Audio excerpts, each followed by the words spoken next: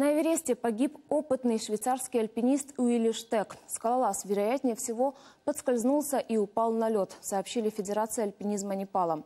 Он несколько раз покорял Эверест, но в этом году решил идти по другому маршруту и без кислородного баллона.